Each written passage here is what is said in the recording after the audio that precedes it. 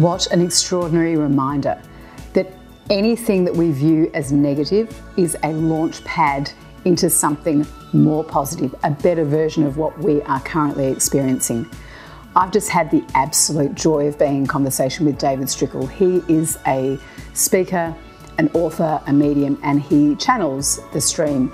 What I loved is he really broke down the fact that we're all connected. We're all connected to something greater than ourselves. He calls it the source. I like to call it the source. You can call it God, whatever you choose. Our intuition is us channeling. In order to get into that state, we need to be in a state of, of high vibration, basically joy. We need to be in a joyous state to be connected to something that is feeding us this eternal wisdom that we're all seeking, and especially right now. If we find ourselves in a lower vibration, as he said, the key is to notice when we're in those lower vibrations, i.e., when we're getting triggered, to notice it, to feel what, whatever's there, and then to take ourselves in these small micro shifts. He didn't use that word, but basically, small rungs up a ladder, take ourselves back into that higher state of vibration where solutions are available. You know, right now in the world, those that are experiencing anger can't see the solution. So the key is to get into that higher vibrational state for solutions, for, for clarity, for us to experience the freedom that we're all seeking. It was truly a remarkable conversation. He is one wise being. And as he said, the stream is wiser than he, but he uses the stream's messages, and there are a number of core messages in his books, to actually teach and for us to use the tools that are being given to him via the stream. I would invite you to tune in. If you enjoy this conversation, please subscribe to my YouTube channel. You can also check out all my videos and resources at lisawinneke.com. And I hope you enjoy this conversation as much as I did. Welcome, David Strickel. Thank you for having me. It's really good to be here. so, I often do an intro, as I was saying beforehand, but what I would love to do is to pass the microphone over to you and for you to share a little bit about your work as the stream, and then we'll go back because what I'd love to do is is is rewind as to how this came about. Like I know when I've read reading your book, this knowing of the stream of being connected to something greater than yourself was there present for you a long time ago, so, if we can just start with now, what is the stream? The stream is a stream of consciousness that is the core of source energy that actually flows to all of us. It is original thought, it is the source of all creation. And so, you, as the stream, channel this source of energy, this stream, I should yes. say, stream of energy. And you're saying, so for a lot of people, I imagine there are a lot of people listening to this conversation already, and they're like, what do you mean we're connected to something greater? Because for me, for many years, I was disconnected from that. So when we're disconnected, we're not even aware of that of that stream. We are all strands of consciousness that are part of a collective. And it's pretty easy to understand that, okay, we are the collective consciousness of humanity we, we developed in these bodies and evolved over time in a very similar way. You know, there's certainly some differences, but our similarities far outweigh our differences. So, therefore, mm. if you are thinking in terms of the consciousness that designed us and created us, it is not exactly like what we're taught in religion, but obviously something thought all of this into being. And my teachings and, and, what I offer from the streams teachings, and there are little differences there, because all of my teachings are based on the things that I have learned from the stream. The stream is far wiser than I am, but I've taken their teachings that I've been receiving my whole life, and I've created a practice and a set of teachings that are more humanized around it, mm. because the humanized version of what they are offering is very easy to comprehend and apply in your life to improve your life. And that's what the teachings are all about. It's not just what color are our beings on other planets and all this fun stuff people like to ask that kind of consciousness. Mm. It really comes back to we are human beings experiencing planet Earth as human beings at this time. and what are the tools that we need to improve the collective of humanity and what are the tools that we need to improve our own personal existence our own personal experience of this and i love that because it feels very grounded in the sense that it's you know you're, you're streaming uh, uh um, consciousness but in order for it to enrich our lives and I know the purpose for everything you do is around joy and freedom, so forth. So it's how can we, how can we receive this wisdom and this experience in order to open us and expand us to these these things that we're here to experience. And the first thing is really understanding that we are all part of it, and we're taught so many different things. Mm across all of humanity, from religion to new age to science, all of these different things, and there's nothing wrong with any of those things. They are all our attempt to understand our eternal nature. Our, mm-hmm. What created us? What thought us up? What designed planet Earth? What designed our bodies in this perfect way that mm-hmm. allows us to function the way that we do as, as intelligent beings on this planet? Something did that. And atheists tend to believe that nothing did that, it just happened. and religious people tend to believe that a deity did that and that mm. this deity needs to be obeyed. Mm. And spiritual people tend to believe that in fact spirituality is a big tent tend to believe you know all sorts of different things as mm. far as what created us but i like to use the term source mm. because source is this all encompassing creative energy that created the entire universe and if you want to label that god or your higher self or, or whatever there's no judgment in any of that. Mm-mm-mm. But something did design us, something created the universe. There's a consciousness out there, and that flows to all of us. But we're told that it doesn't. We're told to live in fear. We're told to mm-hmm. behave in a certain way. We're told to live our lives a certain way, depending on our gender and our race and our, our national origin and our religion and all of these different things. Mm-hmm. But really we're all eternal beings. And I do believe that at our core, we get that. And I've even acknowledged that maybe it's just our ego that wants that to be true so badly that we construct this eternal idea. Mm. But are so many people that get in touch with themselves on a very deep level that come to understand our eternal nature. And so mm. there's something there. And if you take that little something and really start exploring that, and at every turn go inward to your own inner guidance and say, okay, is this something that I believe because I was told to believe it? Mm. Or is this something I truly know innately? And our innate knowing always leads us to desiring freedom and joy and kindness and other high vibrational things. Mm. When we're in a state of less than that, mm then we're actually down in, in this lower vibration of fear and judgment and all these other things that are part of the human condition. Mm. But we can move beyond that. And we all desire the same things at the end of the day. Just very often we believe that money and power mm. and lording over other people and all of these other things are a path to joy. But we notice the people that have the money and the power very often are the most unhappy among us. Mm. And that doesn't mean that money is necessarily a bad thing. No. And it doesn't mean that power is, is, innately a bad thing because we all have power. We have mm. the power to create our reality, and we do. But when you need your power to be better than someone else or in control of someone else, that's always rooted in lower vibrational thinking. And that's why you see people who are in power are always so angry. Mm you know, the people that have the most power seem to be the most angry and living in the lowest vibrational state. Even if they're living in luxury, they're always unhappy. Mm. Have you noticed that? Yeah. That's so interesting to me that, that people that have so much, so often, especially people that have power, not just money and material things, but the ones that have true power, are always in anger and fighting to keep it and so worried about losing it that their whole existence becomes about staying in power. Mm. But the power's not even making them happy. It's just their version of happiness that is really a separation from. Mm. Goodness, there's so much there. You know, what that reminded me of, you talk about the, the spiral, the vibration, the, the spiral, the vibrational spiral. Can you speak a bit about that? Because obviously you Certainly. just were talking about that essentially. Something that everyone can identify with instantaneously from these teachings mm. is that we all have an emotional spiral. Mm. There, there are days that our emotions are high, we are feeling good, we're feeling positive. we're having a good day.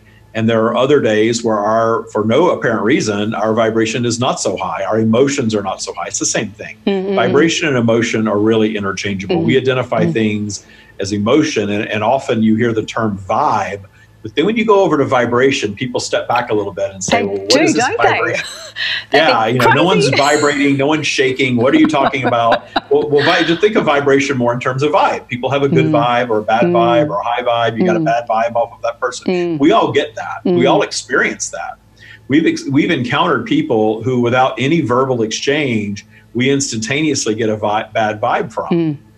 And that can be rooted in our, our higher vibration intuition, or it can be rooted in our lower vibration fear because we're judging them based on something other than what they're saying. Mm-hmm. And so we're immediately taking that to a lower vibrational place. And one thing that I love to teach about this vibrational spiral is that there's contrast in everything. There's positive and negative in everything. I love this. There, I'm so glad yeah. you're going to touch on this because I just want to share that I think a lot of us in this space understand the law of polarity.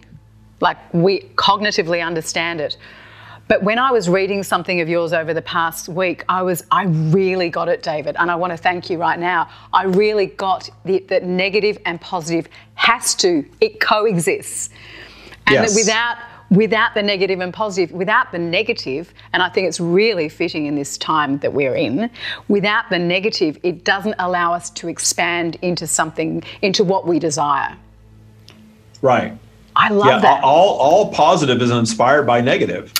And a lot of people, where people tr- tend to get stuck, especially in spiritual teachings, mm.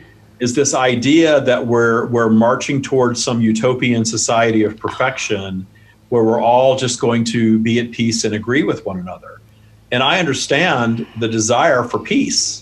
I understand the desire to solve all of our problems that we have. Mm. But I also notice that no matter what we do and what we create, and look at all the technology that we've created on our planet in a very short amount of time, look at the expansive technology that we have created on Earth. Mm. And notice that we're not getting to the finish line of solving all of our problems with it. It seems to just create new problems. We solve something and something else pops up.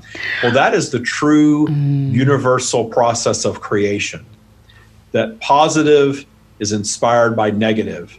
And the negative, the judgment of negative, is a human ego based judgment of negative because mm-hmm. we love these lives because we don't fully trust and believe that there's something beyond this. So we really get stuck in this current life that we're in, and sometimes so much so that we're so fearing of death that we will do all kinds of crazy things and allow ourselves to be separated from freedom and joy out of fear of death. Mm-hmm.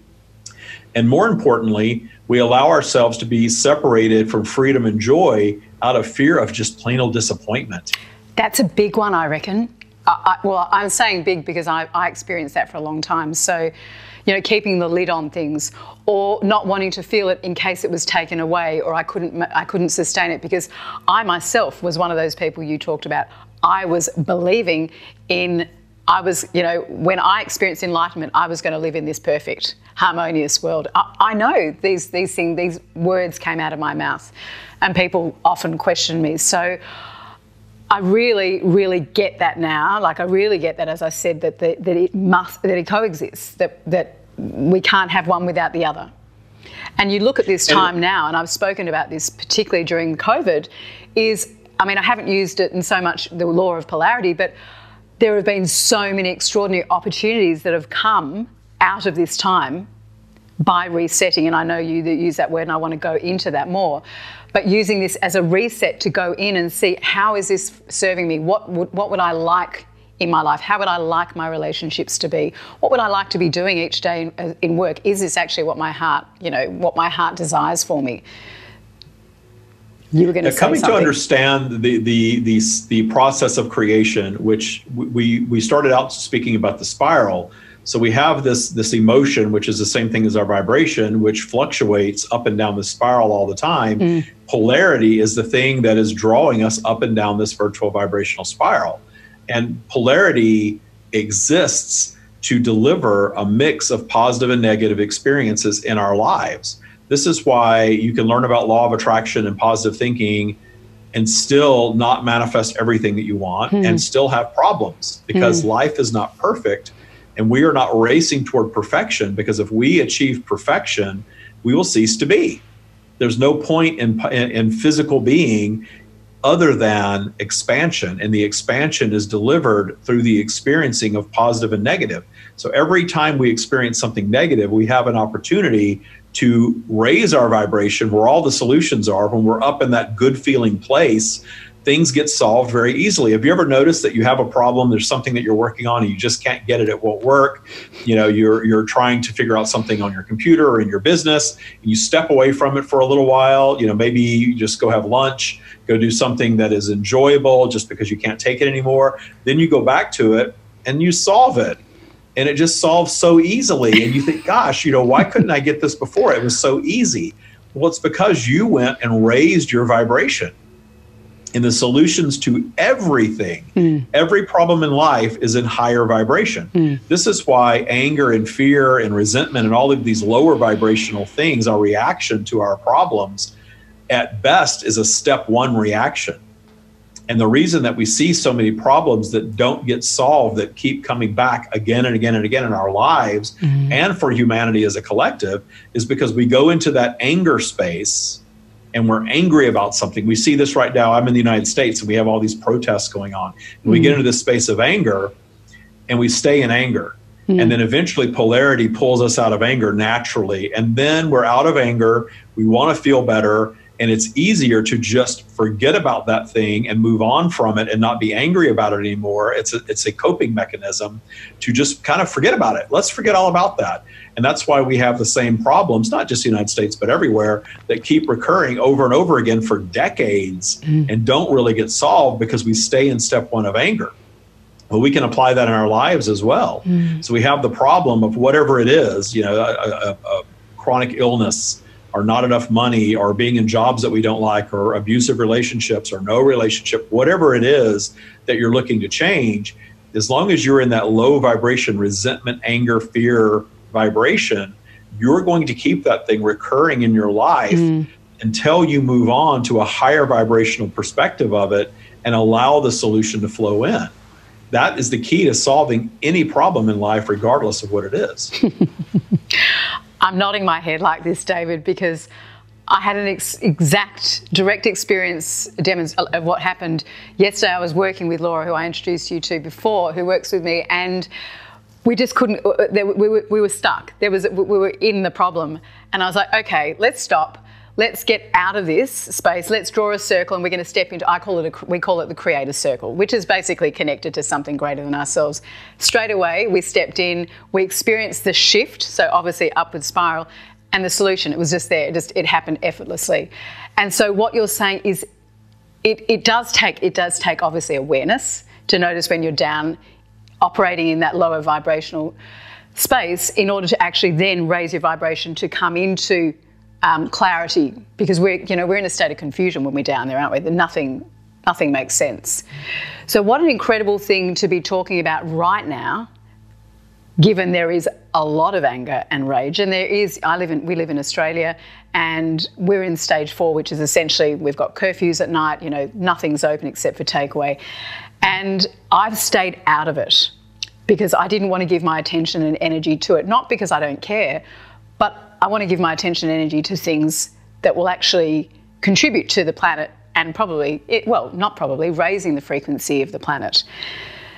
But there is a lot of that. So, what do you say to, I mean, what can you say to people that are in that space? Well, you've probably just said it that really stay well, in that and, space. And that's the thing is if it, I, I, am on social media a lot. I love interacting with people mm. that haven't experienced these teachings before. Mm. Uh, my favorite platform right now is TikTok. I love TikTok. I heard uh, that. Yeah, I love I love TikTok because in a minute I can I can uh, mm. uh, deliver a, a teaching in one minute, and it reaches hundreds of thousands of people it's it's it's incredible. It's an incredible platform, and people interact, and there's a lot of talking. And of course, there's a whole lot of I get it, I thank you, or give me a little more information. And then every once in a while, it's well, what about this, this, and this? How can you say that you attract everything? Why would I attract this thing I didn't want? Why would a child attract being abused? Well, mm. they're not understanding law of attraction. It's it's not about sitting and, and wishing for something and having it materialize. I know that there are some popular teachings out there that sell lots of books that sort of describe it that way. And that is actually perfection too, because that that simplistic description of it brought a lot of people along in the idea that they create their own reality. Mm. The problem is you get into trying to be intentional in creating your own reality, and then you hit some walls with it. The big stuff, the relationship, the improvement of health, the money, the big job, the new business. And you think, okay, this is BS. It doesn't work. It's not true. Mm. You know, it's, it's just a bunch of crap. I, I hear that a lot. Mm but they haven't really gone deep enough into it to really get it. And it, it, took me some time to really, I comprehended law of attraction as early as before age six. I understood it as fundamentally as far as you create your own reality via your thoughts. But getting into the blockages and the flow of polarity and, and the gift of low vibration, that took many, many years for me to really figure out. And when I figured it out for my life, and started transforming every area, losing 100 pounds, getting off of, uh, uh, I was addicted to painkillers. I was in a horrible relationship. Um, I had money, but I wasn't happy. I, I, was one of these people that knew how to manifest money and material things from a very young age. And I lived materially like a very wealthy person from the time I was a teenager, even though I lived in a minimum wage, you know, very poor single parent household. I lived like a wealthy person all of my teenage into my adult life. Mm. And I got to a point where I understood, came to understand that, wow, I've got all this stuff and I'm still not happy. What's going on? Hmm. Then I had to go a lot deeper. And when I went a lot deeper, then everything changed. And I did teach myself how to lose the weight, how to improve my uh, chronic back pain to the point where it's just gone. And, and I'm off of pain uh, killers and have been for a decade now. Amazing. Get out of the bad relationship into the relationship of the love of my life that I know I will be with for the rest of my life. Mm. And really fix all of these things that we all want to fix in our lives. Now, mm. that doesn't mean that my current life is perfect, but it's pretty damn close. You know, I, I live where I want to live. I do what I want to do. I'm happy. I'm healthy. Mm. I, I have a great life. There are things that I still want to manifest. There are obstacles that I place in my path. And with these tools, I know how to solve my obstacles very, very quickly and, and move on to new creation and the solving of them. And I understand that that's my expansion. In fact, every time I solve something, I now use it in my teachings. Mm. And I still manifest obstacles, but a lot less than I used to. Mm. And I will tell you that the the my favorite manifestation, and everything is a manifestation, my favorite intentional manifestation is that serendipitous joy of meeting someone new that I feel like I've known forever. Mm. And in creating these happy experiences in little experiences you know, I, have flown on private jets and stayed in five star resorts and eaten great food and drink drink expensive wine and done all these beautiful things that I do appreciate. But these little moments that we string together in our regular daily lives actually create more joy than that event, than that vacation, than that one memorable event that we create. Because if you're you're depending on the vacation or the event to be your happiness, mm. and then everything else is drudge work on the way, mm. then you're not really living in joy and, and you know where your vibration is if you're in joy. Mm. If you're in less than joy, you're actually in low vibration. Mm. And the thing about polarity is it takes you up and down. And until you get really tuned into your vibration, you don't know that you're down until you're triggered. Yep. But you would have never been triggered if you weren't down to begin with. Vibration, polarity will take your vibe down, but your transgressor energy in your life is what triggers you and holds you down there and creates all of the negative stuff in your life. That's the unwanted people, circumstances, events that you sort of latch onto and you think that they're learning experiences, but really these learning experiences are actually your blocks. So you, you have an experience of something negative in your life and you say to yourself, I'm never going to trust and do that again. Mm-hmm. I'm not mm-hmm. going to let myself get hurt that way again. And, and your ego desire to hold yourself away from pain creates this block. So you're never going to take this chance again. You're never going to fall in love again. You're never going to start a business again. You're never going to invest in something again because you lost money. And then you you actually create this block for yourself that blocks you from everything that you want in your life. Because instead of just letting that be a negative manifestation, a clarifying event, if you will, and then going back up in vibration and solving it and growing in the solving of it, you let that define you. Mm. And we all do this. Mm. And when you stop doing that, you really start to change your life. When you mm. think, gosh, I've been burned before, I may be burned again, it doesn't matter. It's all part of this magical flow of my life journey. Hmm. How much better does that feel than never again. I'm never going to love again. I'm never going to invest in a business again. I'm never going to spend money on a car again. I'm never going to take a vacation. You know, all these things that we tell ourselves. It's, it's funny, right? It's so limit. It's so limited, isn't it? And as soon as you said it, it was like it's so it's so literally so freeing. It's just like there's no attachment to it any of it. It's just like you experience it and there's no attachment. Because you, when you say, when you talked about the block, we create a block, well, we then create, we not only create a block, but am I right in saying we also create more of what we don't want? Sure. Because that block is the thing you harken back to and that becomes your new vibration. Mm. So when you are, and I'll use a more extreme example, when you suffer abuse as a child and you you have that opinion of yourself that you adapt because you were abused, you carry that vibration into adulthood. And that's why people that were abused as children very often become abused as, as adults in some mm. way. Because they have that never again vibration. Mm. They're focusing on what was bad and what they don't want. And they end up manifesting and attracting more of that in their lives. Now, mm. this is the point where a lot of people that are new to this will say, well, you're blaming the victim. Yep well, I'm not blaming the victim. That's not what attraction is. In fact, what I want to do is empower the victim mm. to stop this damn cycle and mm. not attract anything of that nature again mm. by focusing on self love, self appreciation, and disconnecting from the need of another in their lives and then in that high vibrational space of self love and self appreciation and not needing another, then you're actually in the best position to attract someone into your life mm. that is your high vibrational match that feels the same way about you. Mm. But when you've got this active vibration of you're not worthy, you're not good enough, uh, somebody abused you in some way, and it's still active and you're still hearkening back to the negative aspects of that, then you're more likely to attract more of that. And there's proof of that all around us. Mm everywhere. And I think this is a, a, perfect time, if you wouldn't mind rewinding, rewinding and sharing a little bit about your your past, your story, and how because the work that you do now obviously is as a direct result of everything you've overcome and the wisdom of the stream in now giving you um, which we'll talk about in time, is Tyre and the four pillars of Tyre and what you run in the boot camp is extraordinary. I love the four pillars. But can we go back and rewind and you just share a little bit about where you've come from? Certainly. So, as I, I, believe I said at the beginning, I've had this knowing that has been with me as long as I can remember. I remember being prior, my father left when I was six.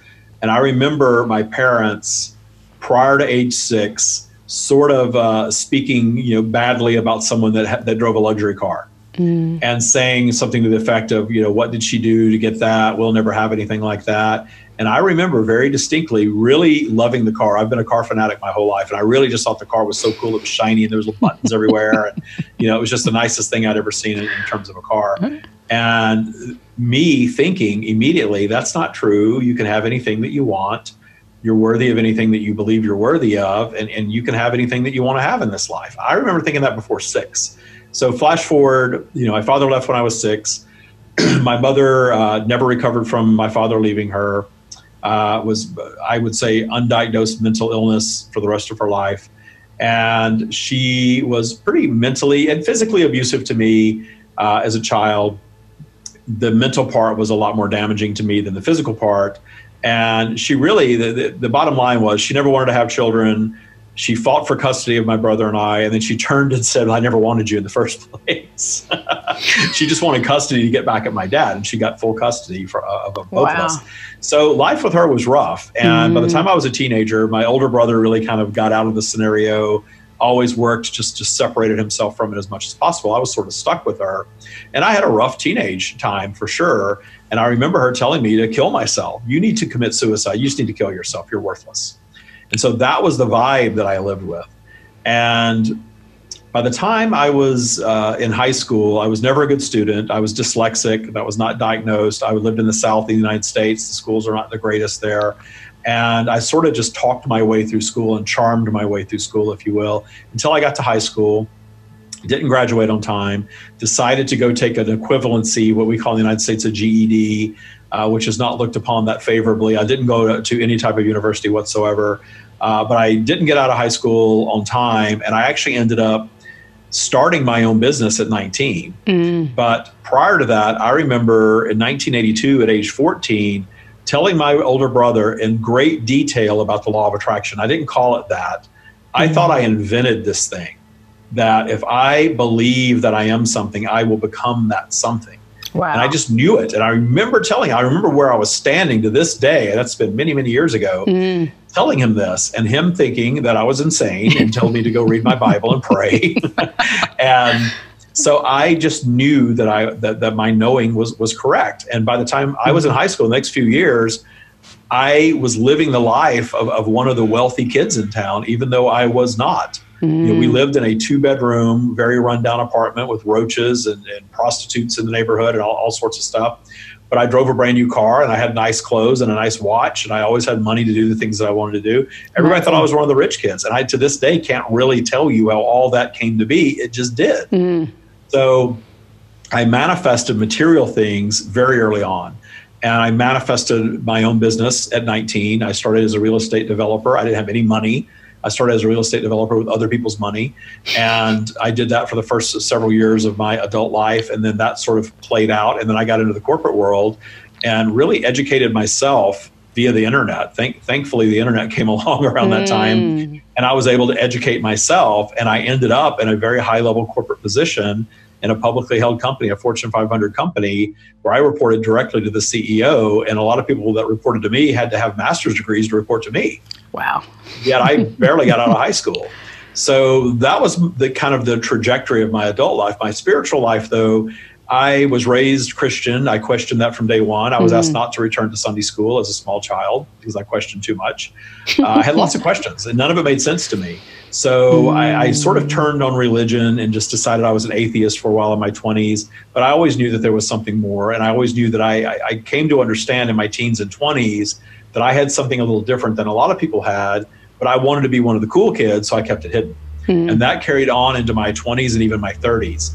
But by the time I was in my 30s, I was going to see psychics fairly regularly just to understand what was happening with me, why mm. I have this knowing that other people don't seem to have.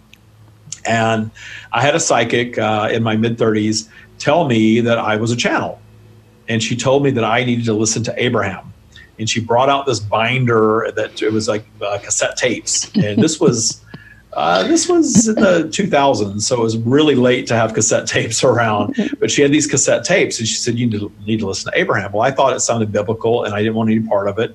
I didn't want to be a channel. I thought it was weird and I kept it hidden. And I went on through life, and I got to about age 40.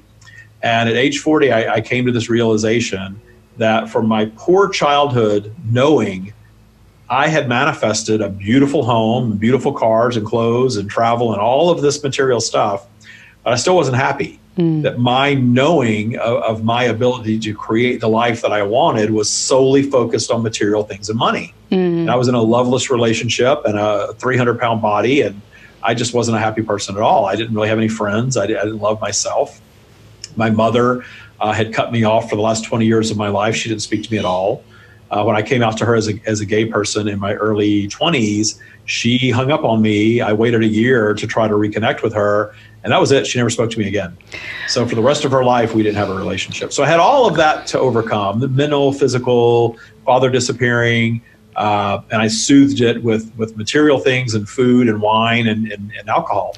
Can I and can I stop? I'd like to stop because I just really want to acknowledge, and I want other people to acknowledge that are listening and watching this, that you could and you haven't use this as your story to stay in the state of pain and suffering and victim. Oh, sure. I could sit here and say what a victim I am and how horrible it was. That's right. And, you because know, you've got a, yeah. you got enough. Like you've got enough of. They're, they're, they're pretty decent stories. What you've shared. There, there's a lot to overcome, and so one of my biggest things when people say, "But I had this" or "This has happened," is, but there are people that have experienced more tragedy, ongoing tragedy, trauma that have overcome it. So did you, was there ever a point where you would say uh, you lived in that state of victimhood, or was there always because of this? I think so. I, I yeah. think in my 30s, I was in parts of my life, I kept myself in that victim space, and yeah. I was soothing that victimhood with cars and clothes and houses mm. and travel, mm. and I think that that was present. Even though I understood law of attraction, my application of law of attraction and my knowing, if you will, was solely focused on money equals happiness. Yeah, right. yep. Material things equal mm. happiness. Five star travel mm. equals happiness. Mm. You know, that's that was the the zone that I was in. It was mm. very misguided, but now I see the perfection of it. That holding myself in that space not only created the the negative things aspects of my childhood, but then moved into adulthood, and I ended up in a relationship with someone who cheated on me repeatedly and even contracted HIV outside of our relationship, and and lived off of me essentially because I made most of the money. So that was my experience as an adult that I attracted to myself as a result of my childhood. So I finally broke free mm. of the mm. victim vibe by finding appreciation for all of that stuff. And from the time I had what I would call my official awakening. It's kind of, the, all of these spiritual terms are kind of funny to me, but there was a time that I began meditating, mm. and I had an energy awakening within my body that is undeniable. And since that time, it really it changed me, me profoundly to where I went off on this path of really starting to embrace my spiritual side. Mm. And the Abraham teachings sort of came back around to me years after I was told to listen to them in such a magical way that I could no longer ignore them and I started really consuming a lot of the Abraham material, and it was music to my ears for a while. And then I got to the point to where I realized, well, there's other things that I'm not getting from Abraham, and mm-hmm. I went back inward. And when I went inward, I got a different set of tools. And that doesn't mean that there's anything bad or wrong with Abraham. It means that for me, I needed to create a different set of tools for the challenges that I was having that the Abraham experience was no longer serving me. Mm. So the positive of Abraham for me was that it's a beautiful message. It's absolutely all accurate. Mm-hmm. The, uh, the the teachings that that Esther delivers, if you are all familiar with Abraham, I'm assuming you might be. If not, you can check it out. It made channeling very palatable for me. Mm-hmm. It made it seem okay to do that, and it was it was like stereo. It was exactly what I was getting. Mm-hmm. But for me in my life, there were things that I wasn't able to change with that get into the vortex get happy go up go up in vibration and that's it message i knew that i had to go clean up all this gunk from my past mm. because it all existed down there in lower vibration and no matter how much meditating and appreciating and vortex inhabiting i had all of that stuff when polarity took my vibe down it was all waiting for me down mm. there so I created the set of tools that I now call TYA, T-Y-A, mm. that allows you to clean up all of that lower vibrational stuff and to fully appreciate the vibrational flow, which includes going down into lower vibration. But you, you eliminate your triggers and you allow a more consistent source connection and you set intentions for your life in such a way that you raise your default vibration. When you raise your default vibration, that's when your life really changes mm. because you have a vibration that you, we've all create our vibration which creates our reality. And our vibration has been created by the sum of our life experiences, both positive and negative. Mm. And you can read books and listen to podcasts and watch YouTube videos and do all of these things. But until you do work over a period of time to really do all of these things to raise your vibration over a period of time, you're not going to move your default. You're going to go up for a weekend you're going to go to a weekend retreat or a seminar or read a book and be fired up and you're going to change your life. It's amazing information. And maybe some aspects do shift. Mm. But the big life shift happens when you start working these four things that we teach all together as your lifestyle. Mm. That's what changes you. Mm. I feel really emotional listening to you. It's really, it's, which I'm cool with, but I'm like, wow, I think because it's, it, when I hear something that is true, my soul knows it's true, like there's a ringing. And I, I for me, I experience emotion. And so what you've just what you've just spoken about, I'm not even going to remember because I was so connected to the words, was it's all about man it's all about our energy, it's all about our frequency and our vibration. That is it. Yes. And, and the managing it is not just being in high vibration all the time because you can't be. No. Because polarity is going to drag you down. But when polarity drags you down a little bit, you can acknowledge it and notice it and appreciate it mm. and work on eliminating the triggers that sort of connect. And, and I always use the visual of the spiral. Mm. And the reason that we meditate is, is to reach this, this little sliver of space called neutrality, where we're clearing our minds so much that the natural source connection that's always there is realized Mm. That's all meditation is. That's the only purpose of meditation is that. Because when you get to that space of little thought and that inner connection that's always there becomes realized by you, it's like a Wi Fi connection that's mm. always there. We just have it turned mm-hmm. off. Then that source connection, which is pure positive energy, actually takes you and can guide you up into higher and higher vibration where joy, clarity, and abundance all reside. The solution to everything is up there. But inevitably, polarity is going to take that vibration down from time mm. to time. And when it goes down, if we have these negative things, this transgressor energy, that energy is going to grab us.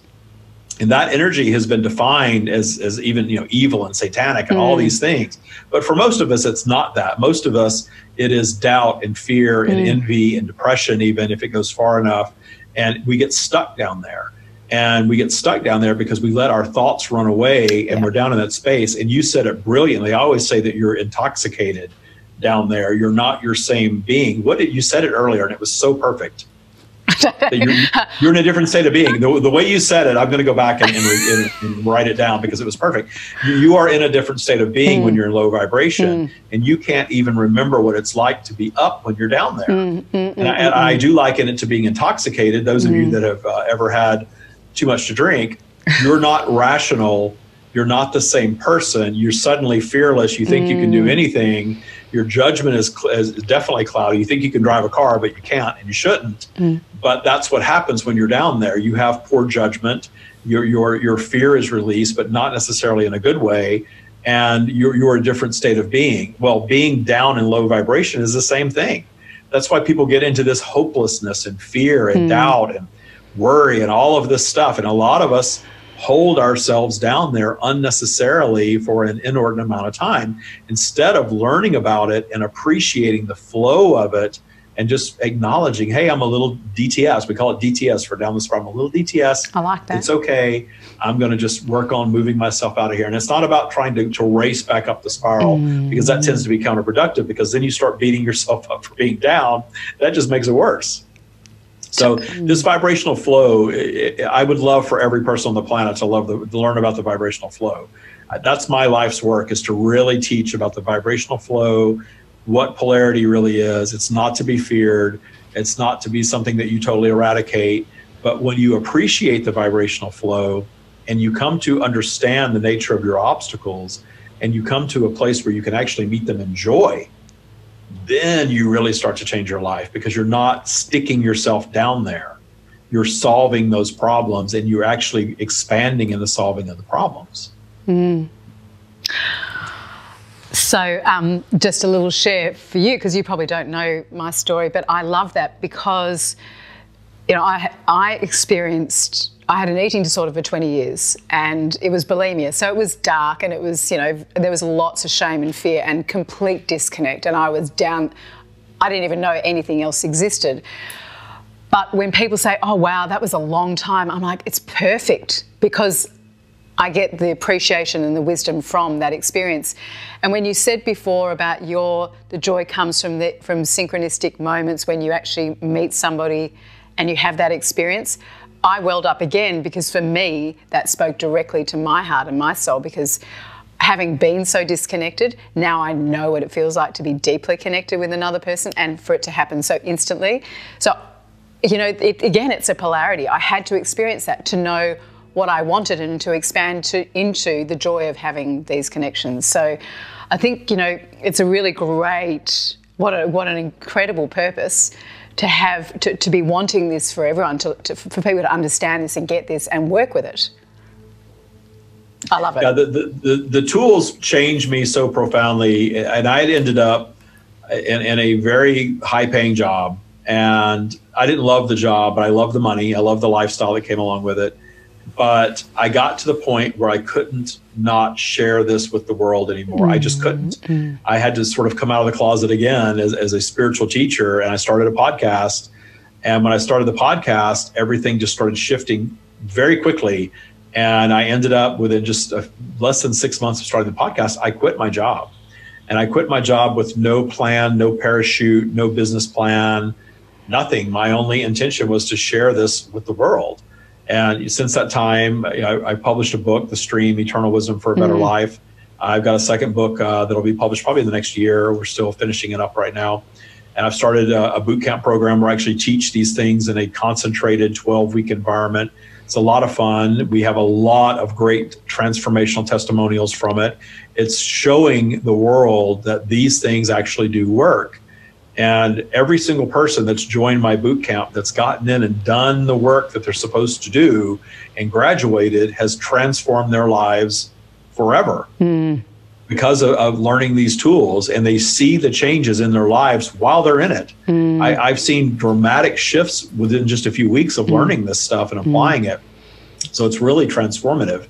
And it's something that works with any belief system because there's no dogma to it. There's no rules or worship or cult like stuff at all. It's simply a mindset process that is spiritual in nature, but we strip away all of the human created spiritual tools and it, it really turns you it's a human created tool in that i co-created it with the streams teachings mm. but it's all about going inward going inward and cleaning up your transgressor energy learning what polarity is all about learning where you are on to, to really pay attention to your spiral all the time mm. learning to set intention for yourself every day for what is going on in your day segment by segment and it sounds tedious but over time it becomes a lifestyle it's just how you live your life and there's so much benefit in it you adapt it as just your way of being mm. and it really shifts you mm. and you you see the results in your life and the nicest thing about it is it gives you this higher perspective of not just your life but all of humanity and the best way to describe that is people liken it to a, a spiritual awakening mm. it's it's I, i'm not guaranteeing anybody a spiritual awakening everyone has their own independent experience but it really wakes you up and being able to zoom out to your higher perspective mm. and see the perfection of imperfection in the world. And then suddenly mm. the atrocities of the world are not something that you desire to ever happen again or for anyone. It's not viewing it in that type of appreciation. It's a deep understanding of it that allows you to make sense of it. And when you make sense of it, finally, you're at peace with yourself and the world. You're not pushing against anything. And when we get to that space of high vibration appreciation of everything, then we really do have the tools to start solving things. We don't have to have a lot of the things that the transgressor energy on this planet does not have to be. Mm. And we have the power to change it. But pushing against and, and, and being angry about it and staying in anger and then forgetting about it when the anger abates mm. tends to be what we do. And that's why we have things that just continue as ongoing problems that don't get solved. But there are other things that we do solve. And we solve the other things by noticing an annoyance and going to our creative space and creating a solution for it, creating technology.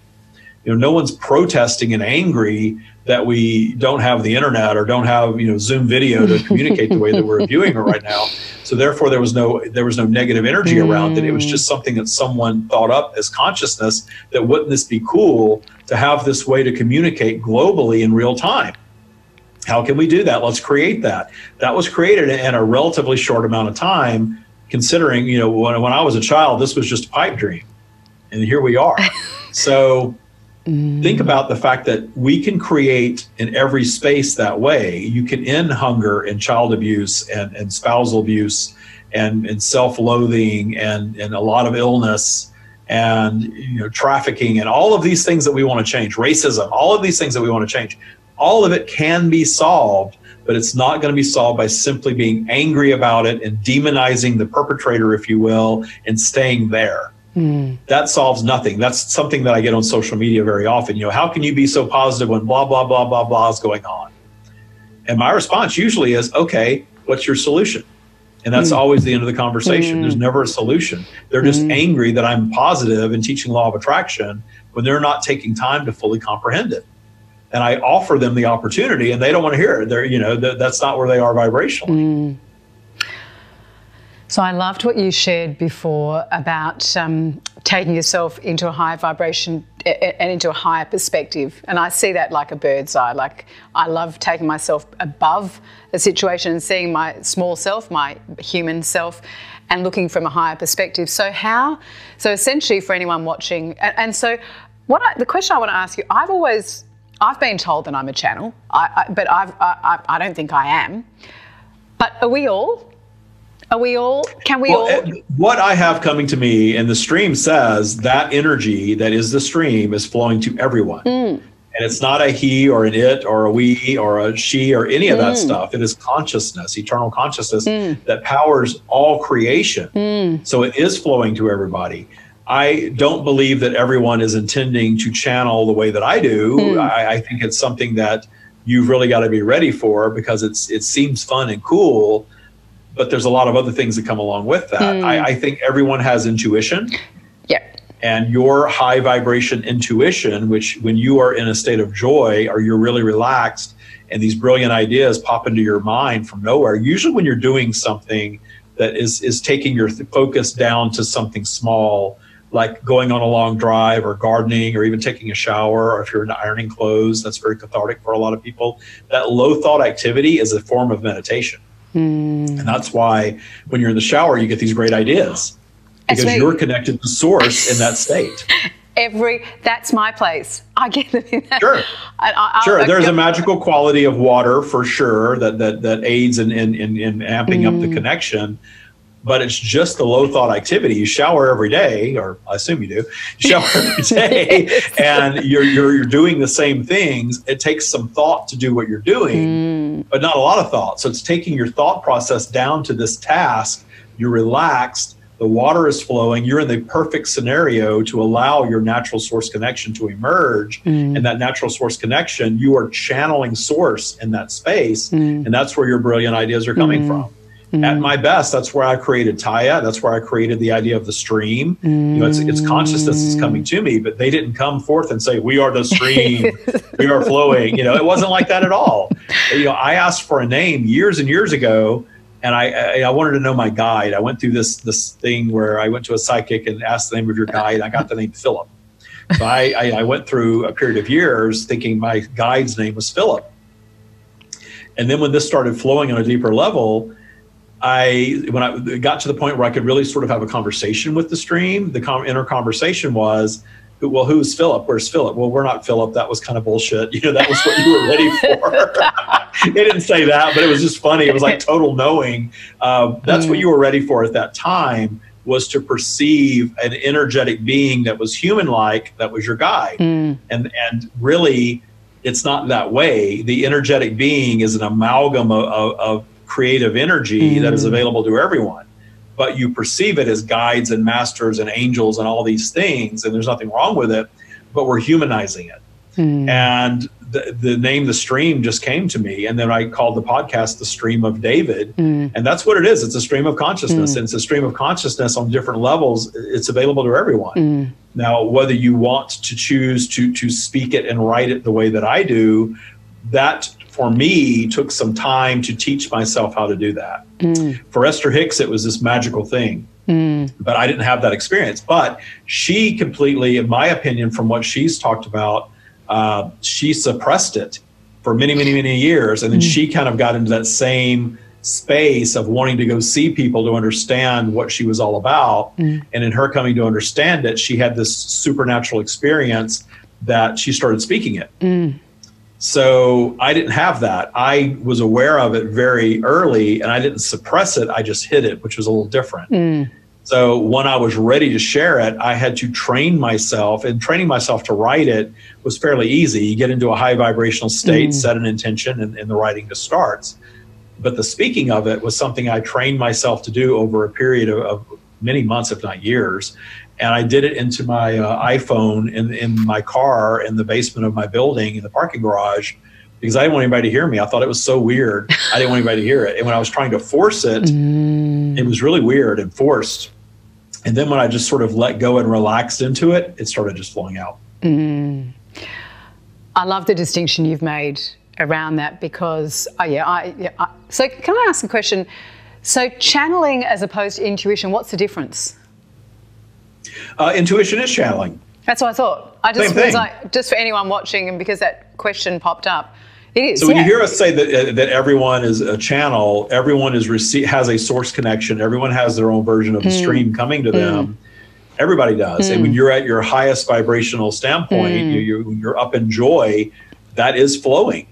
And the stream's advice is get into high vibration and remove fear, which also allows you to remove judgment, and you will get clarity on any subject if you take fear and judgment out. Anything. if you remove fear, you know what your next path should be. Mm. Even if it's scary, take the fear out of it. That is your clarity. Now choose to do it or not. But if you do it, there's no getting it wrong. Mm. Even if it's even if you have obstacles and roadblocks along the way, that's that vibrational flow that we talk about. Mm. Your vibration is up. You're creating something new. Let's just talk about a business. Anyone that's ever read about the creation of these massive companies, Apple, for instance, I've, I've done a lot of reading about Steve Jobs and the creation of Apple. You know, how many times did a company almost go bankrupt? You know, and he was fired and he was brought back, and all mm. of this mm. this negative stuff happened along the way.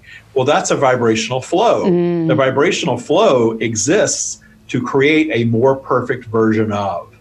So what happens is if you set out with an idea, that idea exists as thought, as consciousness forever. Mm-hmm. And that idea, you can take that idea and begin creating the idea. And what happens more times than not, people begin creating their idea from high vibration. They believe they can do it. They're putting their money into it. They whip themselves up into this state where they're going to do it and then the first obstacle arrives hmm. and mm. you know a nice percentage of people at that point throw in the towel and quit and go back to their day job yep. right then some people go further than that and they allow this vibrational flow of positive and negative because they're listening to their inner knowing that i know this isn't working the way that i thought it was going to work but there's something here and i know that and the people that keep forging ahead and forging ahead and forging ahead are the ones that become the apple and the google and the amazon mm. and hmm. everything else because they just keep going no matter what. And I can tell you in my own existence, since I left that mid six figure job and, and doing this to make a living, I've had the same thing. I've had times that I'm just like, oh my gosh, you know, what am I doing? And, and all this, you know, stuff would uh, kind of drop in. And then I stop myself and remember, oh, no, no, no, no. We're in low vibration right now. Mm. We're not going to listen to ourselves in low vibration my job right now is not to try to figure out solving this dilemma that I'm faced with in business. My job is to go raise my vibration. Yep. And when I do, then the solution flows. I've had two and a half years of that now with no real, you know, plan or backing or anything. It's just sharing the stream in different ways and allowing all of these things uh, that we've created just to manifest. Mm-hmm. We have guided meditations, we have a book, and we have a boot camp, and we have coaching sessions, and we have tons of stuff that we do that's free, and it's all good. You can learn it for free, or you can pay and participate.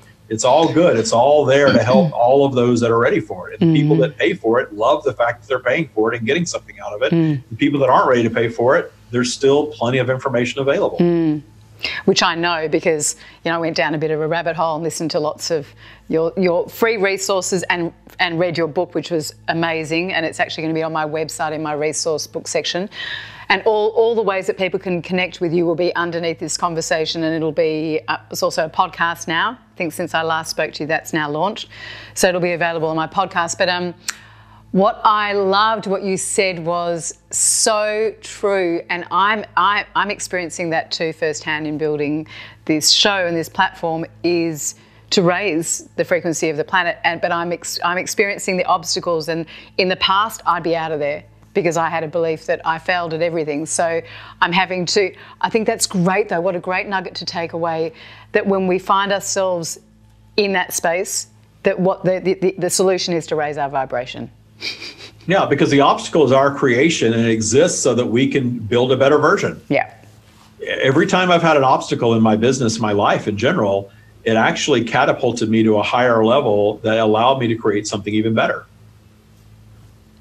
And that's that's what negative is all about at its best. And that's why the stream says they do not judge positive and negative the way that we do. In their perspective, it's all positive because the things that we judge as negative are the launch pad for more positive. Wow. and and one thing that we that the stream teaches that was just such it just blew me away when I fully got this from them is that we judge things from an ego perspective as this is wrong, this is bad, this is mm. evil, this is awful. And we judge ourselves and then we judge other people. We judge the experiences of other people. But something they said to me really rang true that we're all independent strands of soul consciousness and we're all on this sort of eternal march more and more into the core of source energy, becoming more one with source all the time, which expands source, which expands the universe, multiverse, if you will. Mm. And in this march, we are actually seeking higher and higher and higher degrees of contrast, meaning negative, because of the experience that it will offer in the expansion and the potential of overcoming it. So when we judge someone who is born into wealth and privilege is blessed in our planet as humanity, and we judge the one that is born into poverty as cursed, we are completely in reverse of universal law. The one that is choosing the difficult path, even if that life path is cut short in just a few years, that is a more advanced strand of consciousness coming for the higher degree of contrast. And they use the example of these children that are born with terminal cancer and they live to be, you know, four or five years of age and their whole life is perhaps spent at a doctor's office or a hospital. And everyone says how enlightened they were, mm. how beautiful their soul was, how at peace they were. Think of the the soul that manifested and chose that path. And we see tangible evidence of it in our world and yet we still judge that as it's awful it was terrible it was so bad it was you know. And even the parents very often receive enlightenment from having had that experience of that child. Yeah no parent wants to lose a child. But there is an opportunity for expansion in that experience that you do not understand and I do not understand unless we have actually been there. And and it's not for us to judge. So at our best, we're understanding that everyone is here on their own unique path, their own unique journey. And we have to be allowing of all of those unique journeys, even if we don't understand them, even if we think they're horrific, because the pushing against, the, the demonizing of it actually creates more of it, whereas the appreciation of it is the actual solution to it. uh, uh, my mouth is like, uh, there's nothing to say from that. That is that was gold, David. That was pure gold. And I know what I've just said will be the experience of anyone listening that's really listened to what you just shared. Wow. As somebody that was so addicted to judgment, oh my goodness, I've grown up in that space. I just got the biggest download, the biggest aha then. Unbelievable. Thank you. I could talk to you. I say this sometimes, but I could talk to you for hours. Now I'm like, now I wish we had more time so I could so I could ask you to connect to the stream and ask questions. But we'll have to have another conversation. I was going to say you can. I'll, I'll come back. There, there's a really good vibe about you and your audience. Um, we can just we can schedule time to come back, and it can be yep. more of the stream. Amazing. but when I'm at my best, they're flowing through me when I'm in high vibration, and, and I channeled another show today, and it was it was really. Uh, really just good stuff that was coming out of it and, and, the people that were on the show were really blown away. So this has just been this high vibration day that mm. just flowed perfectly. This is the end of my day. It's 5.30 here. It's still uh, what day is it here? Tuesday. Yeah. So this is just perfect um, you know for me the, the perfect way to wrap up my day. Mm. thank you so much I loved that. I love being in conversation with you, David, and I'm going to love being in conversation with the stream next time or asking questions. Yeah, that's that's a different experience, but yeah, yeah, I think you'll really vibe with it. I imagine. So I didn't really want to talk about, um, I don't want to go into um, Taya and the four pillars.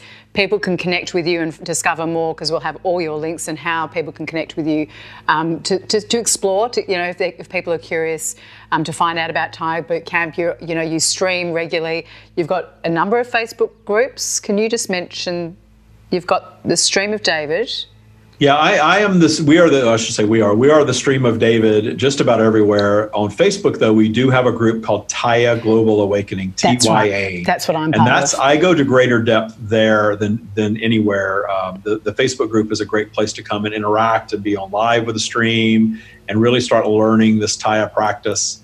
Uh, is that's a great place to do it. So TYA Global Awakening. And TYA stands for Trust Your Abundance. Mm. Because I could do a whole episode just on the word trust, because it really, everything does come down to, to being able to trust the universal process of creation, which includes positive and negative. Mm. And that's the message that I really want to get out there. Life really changes when you start embracing all that. Mm. Wow. Thank you. um, well, yeah, thank you. No, no more words, just deep gratitude. And you've got such a generous and beautiful heart. And I love the mission. And I really love that that what you're doing is you're using the messages and what you're receiving from the stream to then ground it in the practice and what you're offering and, and the tools through Taya. I think that that for me is why it's so extraordinary because we can hear. I needed to take the. There's a lot of people that channel, but for me, I needed to take the teachings and, and apply them in a practical way. Mm. I'm very solution oriented. Mm. And I wanted solutions. Like, okay, here are the teachings, and, and the teachings are everything, and they're eternal, and there, there is so much wisdom there. But how do we take all of that and, and sort of bring it into our lives in ways that will solve problems for us yeah. in our lives mm. and as a collective of humanity? And that's where Taya came from. Yeah which is beautiful. So people can actually transform because the tools oh yeah used. if you go to my youtube channel i have a whole playlist of and it's just uh, we, we're way behind in editing these days because i'm doing so many other things uh, of people who've transformed their lives with, with the boot camp program mm. and significant transformations you know not money businesses um, relationships having children when they were told they weren't able to have children solving custody battles uh, relationships marriages divorces out of bad relationships uh, gosh you name it and, mm. and we mm. have it at this point miraculous healing we have a woman who had terminal cancer I read uh, two two mm. cancer patients that had pretty dire diagnosis that are thriving today uh, it, it, gives you a foundation to solve anything in your life, but the healing and the solving is all internal work. Mm. This gives you the tools to tap into your own inner power. Mm. It's not me or the stream healing anyone or anything like that. Mm. It's, it's tapping into what was there all along. Because it's all there, isn't it? It's all there. It's all there. I, have seen it. I'm just amazed at what I've seen. One of the most incredible stories we have from boot camp is a woman whose son was murdered. And oh, for five years, she suffered as the, the mother of a murdered son and couldn't take it anymore. And she started listening to my podcast and she came into boot camp. And I asked her if she was ready to find appreciation for her son's journey and even forgiveness, if not appreciation for his murderer. And she said she was. I thought, okay, you get it. because if you're not ready for that, you're not ready for this. And she got it and she did. And the amazing result of that is her, uh, the guy that murdered her son uh, was a serial killer and he murdered her son in one state and then went to another state, committed another murder, and got uh, in the states, in the United States, and was captured there. And so he was tried and convicted there. And they had to extradite him back to, to where she was to, for him to be tried for her son's murder. And it took five years to do that. And right as she was graduating my boot camp, that extradition finally happened. Wow. And she had to meet the murder of her son in court face to face and certainly it was not a good experience, but it was an experience that she could handle.